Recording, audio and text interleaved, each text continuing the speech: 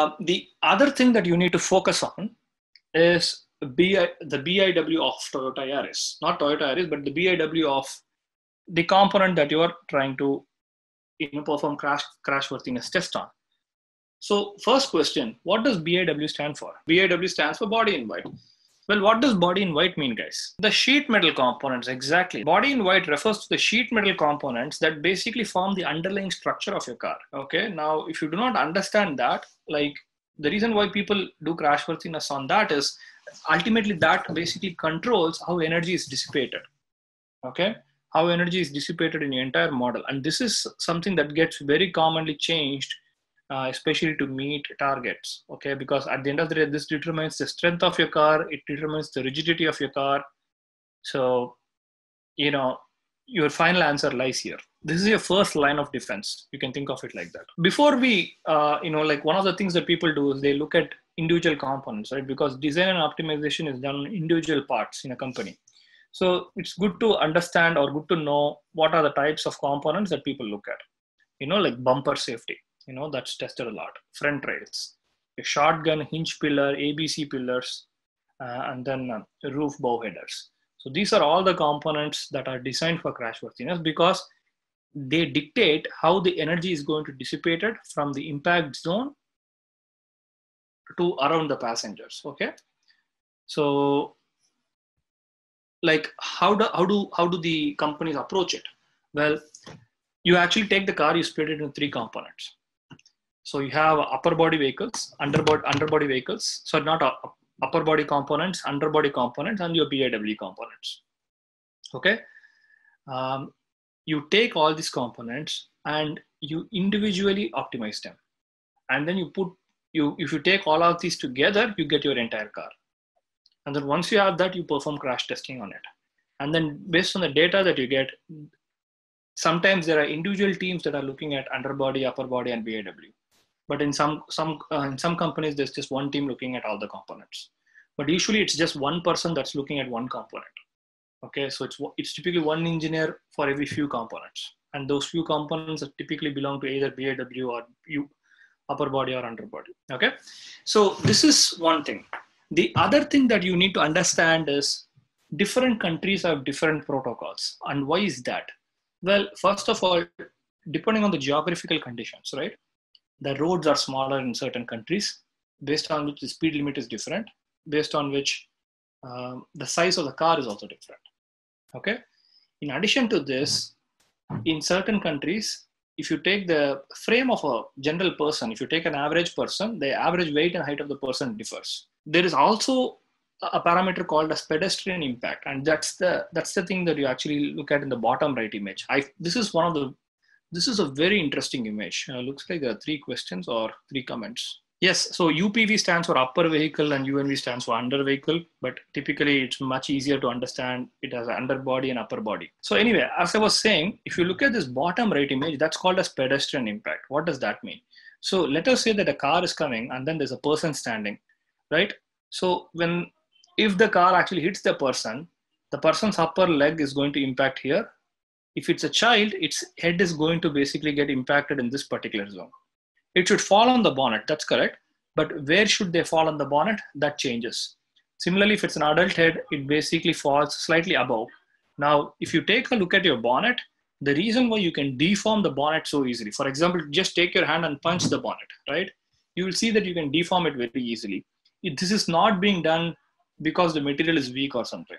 This is being done on purpose okay because if, if this happens to a child and when the child's head hits the bonnet if you use solid metal there the child's skull is going to crack open almost immediately. The reason why the bonnet is soft is because it is going to deform. And then when it deforms it basically dissipates energy. Just think about it like this. So if you take a look at airbags right the airbag is like a balloon. So the balloon pops but then the moment that your head hits the balloon what's going to happen it's going to actually burst open. So whatever energy that your, your head is actually imparting to the balloon, it's going to get dissipated away so that you get less reaction force. If the balloon is not dissipating anything, you are going to get the entire reaction force back to your head, Newton's third law, right? And that's just going to open your skull. And that is why, you know, bonnets are designed in such a way that in the middle of the bonnet, it's very, very soft. You can punch it very easily. But if you go a bit more higher towards the windshield, it becomes harder because that's where an adult head is supposed to hit. And adults can typically take a little bit more impact.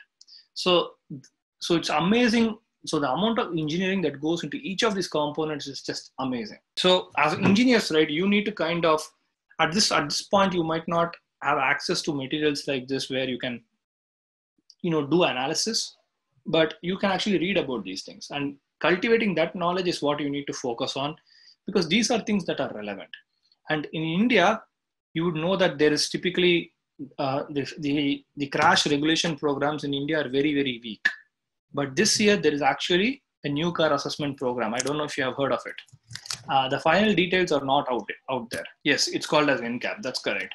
So once the final regulations are out, uh, you will be able to understand like you'll you'll see that the new cars that are coming maybe next year or the year after that will have most of this uh, um, will we'll have most of these uh, standards. Now, yes, we Indian cars, you know, we basically we basically look at Euro NCAP. Now we need to understand that, especially for Indian cars, a lot of things are not done correctly. As in the reason why the cars are a bit cheaper, and you can see that airbags are not uh, compulsory; they are more like a luxury, right? And this is purely I like if you ask me, this is this is purely political, because in in the US, like I'm currently in the US, and if you see here, you can actually get a, a new Chevy, a Chevrolet Cruze, which I think the same car model exists in India. And here you can actually purchase the car for $12,000, which is about 7 lakhs, right? And for 7 lakhs, you get automatic transmission, you get airbags, and you get rear view camera. Because rear view camera is an important safety device. So in the US, in a few more years, rear view camera is going to be standard. Okay. But if you take a look at Indian cars, I'm pretty sure the cost is very similar. They would charge similar pricing for the cars, but none of these devices are compulsory. They are they are in India. It's marketed as luxury devices, right? Which is very very unfortunate because if if you if they have done a lot of research and if they found that airbags help, you know they can they, is the difference between life and death in an accident, they should make it compulsory, and the companies should figure out a way to make it cheaper so that cheaper but still safer right? That's what drives innovation. But unfortunately those things are not being done which is purely political. Because the, the only person who can actually put pressure on these organizations these companies to do these things is the government at the end of the day. Uh, are there any more regulations? Uh, no like there are definitely a few more regulations out there. Uh, so for example there are uh, regulations on how like how much rolling can take place in a car when the car travels over a bend at a particular speed. So all those things are there. And also nowadays, uh, if you go to rear seats uh, in US or in, even in Europe, they have something called as a child seat.